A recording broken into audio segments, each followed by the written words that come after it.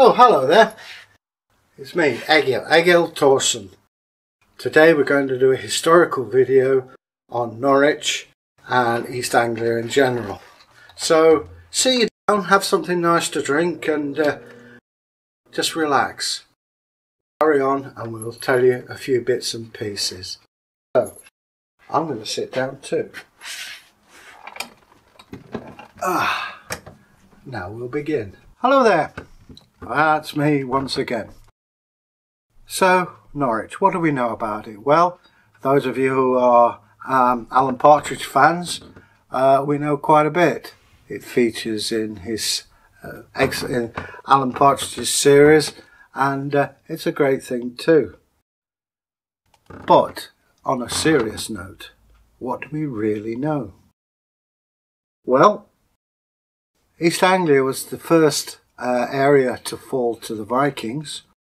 It became a city in 1094. This left uh, this filled the vacuum that the Romans left in 450.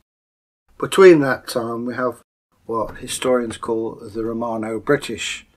Some people call it the Age of Arthur. Well, that's neither here nor there. That's for you to decide. It sits on the river Wensum. Now, I'm going to take a piece of paper and I'm going to read it from here. Oh, what's on the floor? So, the Vikings settled there in Norwich in the 880s, and by the year 1000, Norwich was a mixture of uh, Anglo-Saxons and Norse, and part of a newly um, unified England.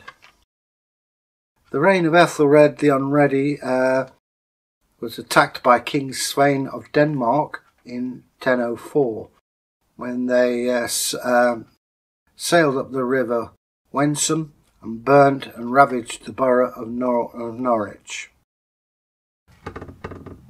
These are just thumbnail sketches, and I'm, I'm reading from the paper because I want to get it right.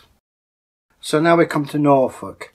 Uh, 840, the invasion of East Anglia. 870, the death of King Edmund as the Danes conquer East Anglia.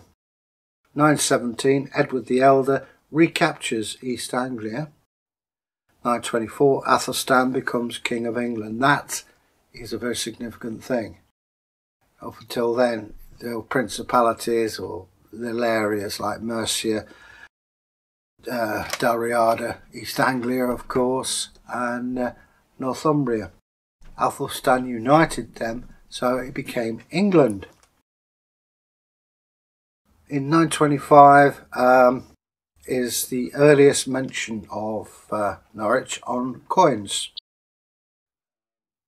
It's important when you mint coins, as we do in Derby, um, that uh, it shows authority, that you have control over it. You have the king or the leader on that, and the name of the money are on the reverse as the name of where it's struck. And um, 1970 was the first known um, reference in writing to Norwich. Uh, it's the Liber Eliensis, for those of you who have a historical bent. And in 1004, Norwich first mentioned in the Anglo-Saxon Chronicle as King Sweyn uh, burned Norwich and captured the area. That is a very brief thumbnail sketch. Uh, we will be doing more on this later uh, in more detail, but it's just a bit to give you a taster, as it were. And if you know more about it, then please drop us a comment uh, which will be hashtag uh, Norwich Vikings. Hashtag Norwich Vikings. You heard it from Brian first. Uh, but leave us a comment, and if you have any additional information, because we're learning, you know, we're not the fount of knowledge of everything. We've had to research this, and uh, I hope you've enjoyed it. If you have, leave us a comment. We will get back to you as soon as possible. And till we meet again. Bye.